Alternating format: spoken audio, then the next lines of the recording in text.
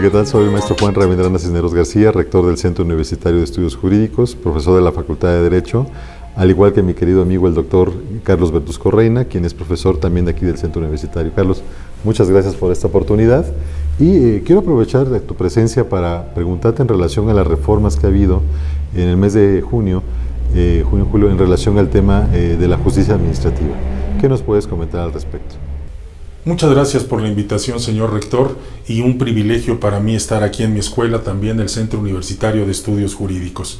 Efectivamente, como, como bien lo menciona, el pasado 13 de junio se publicaron en el Diario Oficial de la Federación diversas reformas a la Ley Federal de Procedimiento Contencioso Administrativo, ordenamiento que, como sabemos, regula los juicios que se promueven ante el Tribunal Federal de Justicia hoy administrativa, denominación que también fue modificada en razón de la entrada en vigor de la ley reglamentaria del Sistema Nacional Anticorrupción.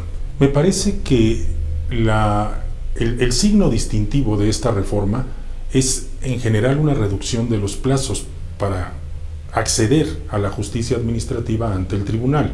Por ejemplo, eh, hoy ya no tenemos 45 días, sino 30 para presentar la demanda y 30 tiene la autoridad también para contestar.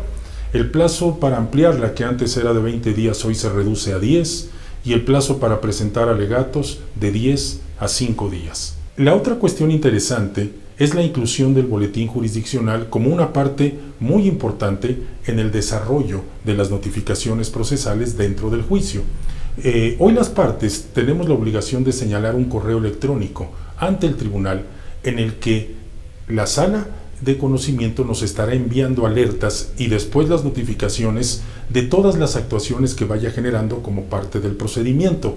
¿Por qué es importante esto? Porque la reforma pretende reducir los plazos eh, de conocimiento de la actuación del tribunal. Una de las cuestiones que teníamos los litigantes de esta materia es que las notificaciones tardaban mucho en llegar a manos de las partes. Bueno, la inclusión del boletín jurisdiccional busca que la comunicación sea más expedita y desde luego más eficiente. El otro punto muy interesante a destacar son las reformas relativas a las medidas cautelares y en particular a la suspensión respecto de la ejecución de los actos administrativos que se impugnan. Hoy el tribunal tiene un tratamiento respecto de la suspensión muy similar al que se otorga a las partes en el Poder Judicial Federal. ¿Qué quiero decir con esto? Que recibida la solicitud de suspensión, el tribunal tiene que acordarla en las siguientes 24 horas, solicitar un informe a la autoridad administrativa que debe rendir en las siguientes 48 y acordar en breve término sobre la suspensión. Desde luego la suspensión sigue eh, ligada a la garantía del interés fiscal. Lo interesante es este nuevo tratamiento mucho más expedito que se da a los incidentes de suspensión que antes no se da. Y Carlos, ¿y qué pasa con el juicio sumario? Porque antes eran 15 días, ¿no? Para el sumario, 45 el ordinario. ¿Qué pasa con estos juicios?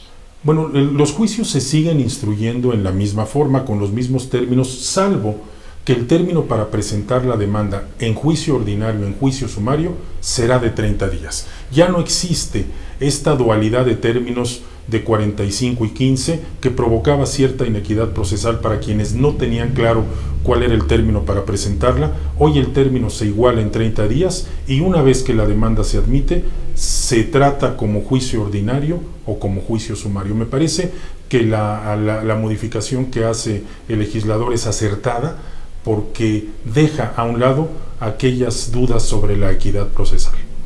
Pues mi estimado doctor, te agradezco mucho tu participación y bueno, esperemos que este, yo lo sé que es un material muy valioso, sobre todo para los estudiantes de Derecho, ¿verdad? Te agradezco mucho por tu, tu exposición y por tu brillante trayectoria.